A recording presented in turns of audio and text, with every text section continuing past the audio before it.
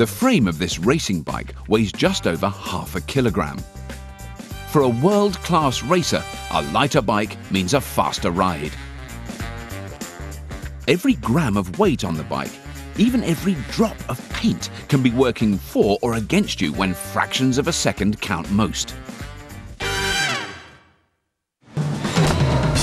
The secret to the bike's ultra lightweight and superior speed can be found in these paper-thin rolls of carbon fibre. These are made into a composite known to racers as Optimum Compaction Low Void Carbon, or OCLV for short. Initially, the carbon fibre is floppy and flexible.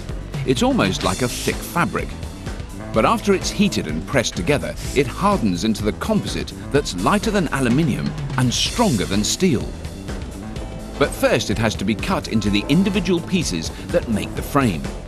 So the sheets of carbon fibre are placed in a computer-controlled cutting machine. This works like a high-tech biscuit cutter. A program guides the cutting blade, which is tucked between two small wheels like a tiny chariot.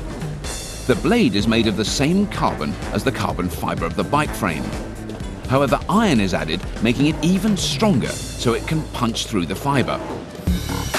Next, an aluminium mould is used to press the thin pieces of carbon fibre together to become the ultra-light composite tubing which makes the bike frame.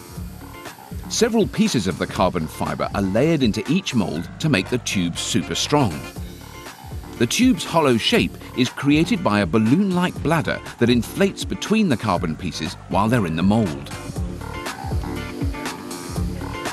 When everything is in place, the mould clamps together and slides into a pressure cooker to be heated and pressed.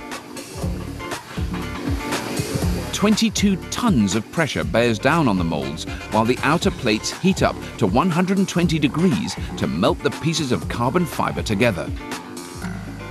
At the same time, the bladder inflates inside the mould so that the pieces of carbon fibre don't collapse in on themselves. And after just 30 minutes of heated pressure, the carbon sheets emerge as the composite parts. The pieces cool for an hour before they're glued together with a special lightweight glue.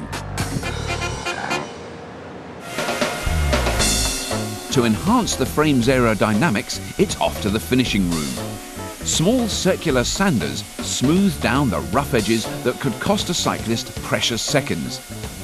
It takes the human eye and touch to detect the smallest of imperfections. The frames are then prepared for the next process by being washed. This is to remove all the accumulated dust.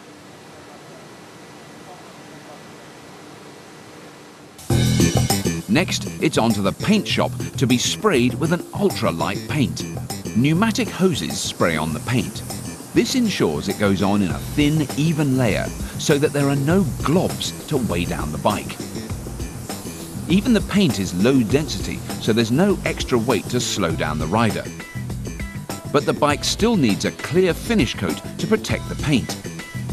And because every drop slows down the aerodynamic frame, it's applied in an ultra-thin coat by robots.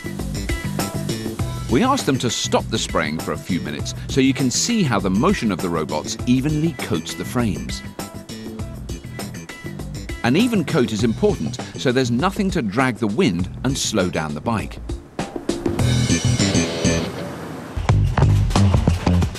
But no frame design gets a green light without passing the stress test.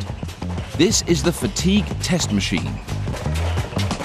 Pneumatic cylinders shake, rattle and roll the frame to test the strength of the joints with 110 kilograms of pressure on each pedal stroke. If there's just one crack in the frame, it's junked. The frames that pass are equipped for world-class competition. Going on first are the sprockets that hold the chains and shift the gears.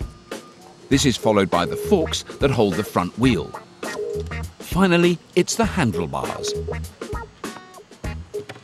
The bike is delivered with its wheels and other parts in a box because the rest of the assembly is done by the racer.